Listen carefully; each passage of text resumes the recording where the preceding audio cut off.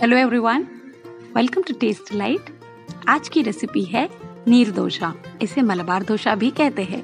अगर आपने अब तक चैनल को सब्सक्राइब नहीं किया हो तो प्लीज़ सब्सक्राइब और ये बेल आइकन को भी ज़रूर क्लिक कीजिए।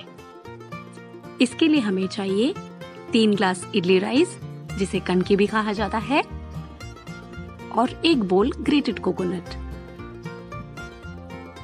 सबसे पहले ये राइस को अच्छे से धो लेंगे।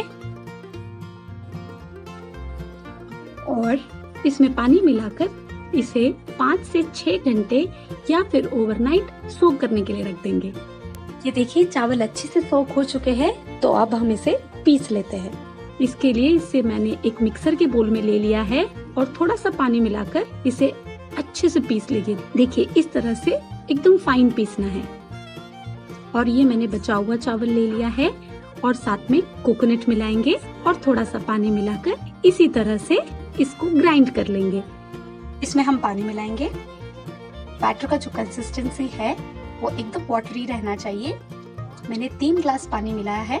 देखिए, ये इसकी कंसिस्टेंसी रखेंगे और इसमें स्वाद अनुसार नमक मिला के मिक्स करेंगे। अगर आपको कोकोनट नहीं मिलाना हो तो उसके बिना भी आप इस तरह से सिर्फ़ चावल ग्राइंड कर सकते हो। और यहाँ पे मैंने एक पैन ले लिया है। इसको ग्रीस करेंगे। दोशा पैन को अच्छे से गर्म होने देंगे और इस तरह से दोशा के बैटर को पोर करेंगे।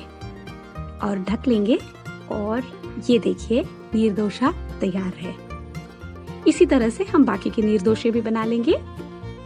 आप इसे ब्रेकफास्ट के लिए बना सकते हो या फिर अगर आप चाहो तो शाम के चाय के साथ या फिर एक लाइट डिनर के लिए भी इसे आप प्रेफर कर सकते हो।